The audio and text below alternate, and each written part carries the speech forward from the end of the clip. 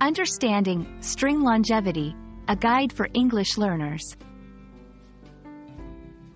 Hello everyone, welcome to our English language learning channel. Today, we're diving into an intriguing phrase, string longevity. It's not your everyday expression, but it's a fascinating one. Let's unravel its meaning together and see how it can be used in various contexts. Stay tuned to enhance your English vocabulary and understanding. String longevity is a two-word phrase combining string and longevity. Let's look at each word separately. String generally refers to a thin piece of twine, cord, or fiber. In a metaphorical sense, it can represent a series or a sequence of items or events.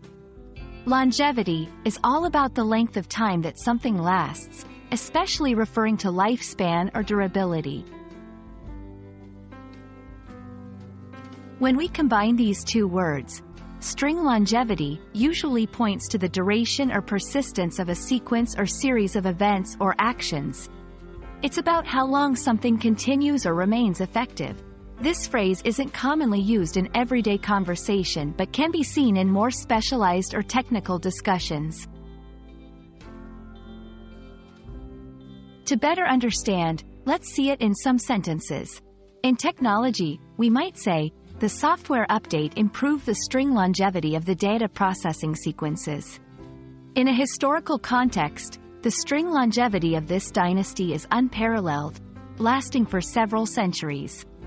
In a personal growth scenario, her dedication to daily practice has significantly increased the string longevity of her skills. Be aware that string longevity is not a widely used phrase and might be confusing in casual conversations. It's more appropriate in contexts where the duration of a sequence or series is being emphasized. I hope this explanation clarifies the meaning and usage of string longevity. It's a phrase that might not come up often, but knowing it can enrich your understanding of the English language.